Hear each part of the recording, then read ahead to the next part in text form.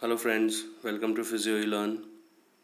I'm Dr. Varoon and in this video we are going to discuss 10 short answer questions for 4th year BPTH cardiovascular respiratory physiotherapy subject and stay tuned and in subsequent videos I'm going to post more short answer questions and these questions I have taken from MUHS past question papers and other university question papers also so if you have not liked and subscribed my channel kindly like and subscribe my channel. So let's get started. So the first question is describe two positive expiratory pressure devices. So the positive expiratory pressure devices can be broadly classified into oscillating PEP devices and PEP mask. Oscillating PEP devices these devices combine an oscillation of air within the airways during expiration and variable positive expiratory pressure. So they combine the oscillation of air within the airways during the expiration and variable positive expiratory pressure. So there there there are uh, devices like Flutter, Acapella, RC Quake. So in here in this uh, video we are going to discuss about Flutter and the other device that is the PEP mask. So the flutter is a small portable device. It is a pipe shaped as you can see in the image uh, with the single opening at the mouthpiece and series of small outlet holes at the top of the bowl. The bowl contains the high density stainless steel ball enclosed in a cone. During the expiration, the movement of the ball along the surface of the cone creates positive expiratory pressure and oscillatory vibration of the air within the airways. So there is a com com combination of positive expiratory pressure and oscillation of air inside the airways. Now it is recommended in supine or sitting position or any position in which the effective oscillation is maintained. Patient is asked to inhale through nose slowly, breath hold for 3 to 5 seconds and exhale at slightly faster rate than normal. Duration is as tolerated by the patient. So this is about flutter. Now PEP mask. PEP mask, the apparatus consists of the face mask and one-way valve to which the expiratory resistance can be attached. Pressure should be maintained between 10 to 20 centimeters of H2O which is man monitored by a manometer. So the pressure of the PEP mask should be between 10 to 20 centimeters of H2O during expiration.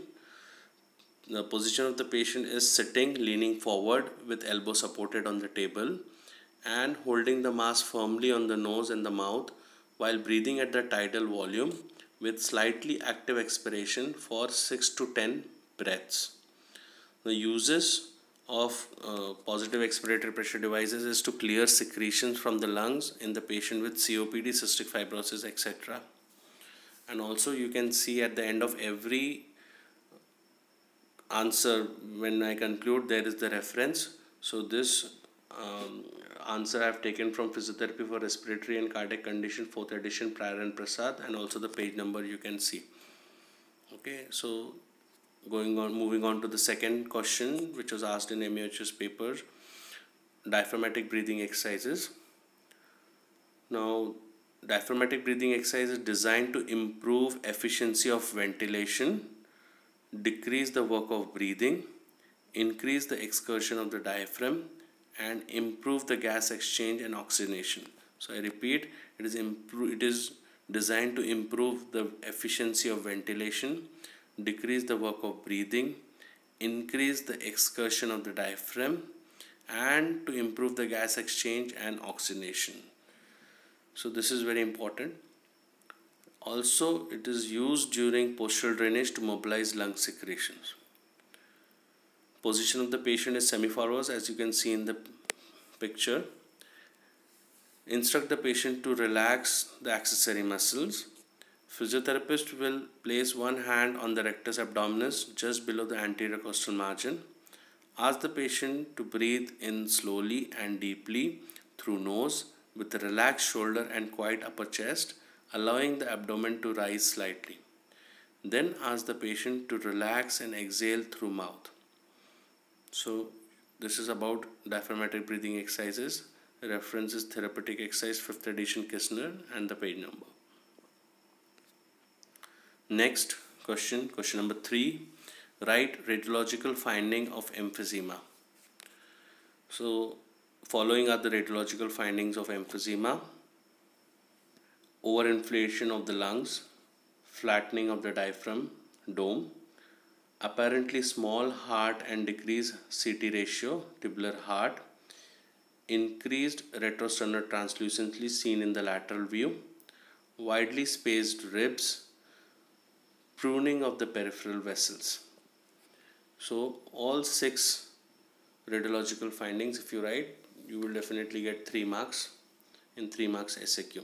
So I repeat, overinflation of the lungs, flattening of the diaphragm, dome of the diaphragm, small apparently small and decreased CT ratio, cardiothoracic ratio or tubular heart, increased retrosternal translucency in the lateral view, widely spaced ribs or increased spaces between the ribs and pruning of the peripheral vessels. Reference you can see.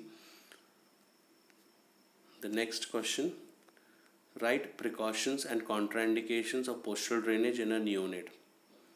So Head down tip should never be used in neonates with raised intracranial pressure or preterm babies because of the risk of periventricular hemorrhage. Head down tip should be avoided in neonates with abdominal distension as it places diaphragm at mechanical at disadvantage and head down tip will further aggravate the situation. Third, in children with dietary deficiencies, liver disease, bone mineral deficiency, example rickets, and coagulopathies, manual techniques should be applied with caution. Manual techniques may not be appropriate in extremely preterm infants. Fifth and last point, infants and children are unable to tolerate lengthy and vigorous sessions, so short and frequent sessions should be given. So what uh, contraindication and precautions for postural drainage in neonate head down tip should never be given in the patient with in raised intracranial pressure or preterm babies because there is a risk of periventricular hemorrhage again head down and tip should be avoided in neonates with abdominal distension and it puts the diaphragm at, at a mechanical disadvantage then children with dietary deficiencies of liver bone mineral deficiency coagulopathies manual techniques should be uh, manual techniques like percussion and vibration should be applied with caution. Then manual techniques may not be appropriate in extremely preterm infants. Then infants with children are unable to tolerate lengthy or vigorous sessions, so short and frequent sessions should be given. Next, question number five. Write any six contraindication for postural drainage. So, severe hemoptysis, untreated conditions like severe pulmonary edema, congestive cardiac failure, large pleural effusion, pulmonary embolism, pneumothorax, cardiovascular instability, cardiac arrhythmias, severe hypertension, hypotension, recent MI or unstable angina. Question number 6. Write two types of inspiratory muscle training. So two devices involved in inspiratory muscle training are a flow dependent device and pressure threshold device. Now flow dependent device training, uh, you have to set a resistance with size of various inspiratory orifices but the load can be lessened by the patient taking slow breaths to reduce the turbulence. These devices are less likely to produce training effect and are best used for desensitization of breathlessness. So flow dependent device are less likely to produce training effect and are best used for desensitization of breathlessness. Second is pressure threshold device incorporates it incorporates spring loaded one way valve which open to permit airflow only when the preset inspiratory pressure is achieved by the patient. This obliges the patient to generate set inspiratory force with every breath and is able to create a training effect. So these are the two ways which can achieve the training. Okay flow dependent device and pressure threshold device three special tests for arterial insufficiency so three special tests are rubor of dependency, claudication test and ankle brachial index. First rubor of dependency test. Patient is positioned in supine and the color of both the feet is examined.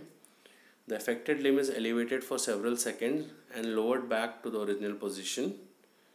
The time is recorded for color of the tested foot to match the stationary foot. If the arterial disease is present, then it may take longer than 20 to 30 seconds for the color to return and usually it will be bright red. Okay. The second claudication test. One of the earliest sign of the arterial disease is intermittent claudication. The patient begins to ambulate using a treadmill or an unobstructed level surface. The claudication test is recorded as a time or the distance at which the painful symptoms occur. Ankle brachial index, ratio of upper extremity systolic BP and lower extremity systolic BP is called as ankle brachial index. Normal value is 1 or slightly higher. So the three tests are rubor of dependency, claudication test and ankle brachial index. Question number 8. Acapella and its uses. Acapella is a type of oscillating positive expiratory pressure device which uses counterweighted plug and magnet to create airflow oscillation. So acapella is using counterweighted plug and magnet to create airflow oscillations. An oscillation of the air within the airway during the expiration and variable positive expiratory pressure. So acapella creates oscillation of a of the air within the airways during the expiration and variable positive expiratory pressure. Acapella used to, is, is used to clear the secretion from the airways in conditions like COPD, bronchiectasis, cystic fibrosis, etc. Question number 9. Enlist the risk factors of coronary artery disease. So age, getting older increases your risk of damaged and narrowed arteries gender or sex, men are generally at a greater risk of coronary artery disease. However, the risk for women increases after menopause. Family history. A family history of heart disease is associated with higher risk of coronary artery disease. The risk is highest if your father or brother was diagnosed with heart disease before the age of 55 or if your mother or sister is developed before the age of 65 smoking. Smoking. People who smoke have significantly higher risk of heart disease. Exposure. Others to your second-hand smoke also increases their risk of coronary artery disease. High blood pressure. Uncontrolled high blood pressure can result in hardening and thickening of your arteries narrowing the channel through which blood can flow high blood cholesterol levels High levels of cholesterol in the blood can increase the risk of formation of plaques and atherosclerosis. High cholesterol can be caused by high level of low density procholesterol known as bad cholesterol. A low level of high density lipoprotein that is HDL cholesterol known as good cholesterol can also contribute to development of atherosclerosis. Diabetes Diabetes is associated with an increased risk of coronary artery disease. Overweight or obesity, excess weight typically worsens the risk factors. Physical activity, lack of exercise is also associated with coronary artery disease and some of its risk factors as well. High stress, unrelieved stress may be may cause damage to the arteries. So these are the risk factors for coronary artery disease. The first three, the age, gender, and family history, are non modifiable. Others are modifiable risk factors of coronary artery disease. Goals of management in restrictive lung disease. So, this is the 10th and the last question for today's video. So, goals of management of restrictive lung disease. First goal is to increase the lung volume or to maintain the available lung volume by prescribing appropriate inspiratory breathing exercises. Second is to manage the breathlessness by prescribing appropriate energy conservation techniques or dyspnea relieving position. To maintain adequate bronchial hygiene by appropriate airway clearance technique. Fourth, to maintain and increase aerobic capacity by prescribing aerobic exercises. Last, to maintain mobility of the rib cage by giving appropriate thoracic mobility exercises. So here we come to an end of this video. I hope all 10 uh, most likely questions uh, uh, we have covered and in subsequent video I'll be covering more uh, short answer questions. Uh, so stay tuned. Uh, see you soon. Thanks.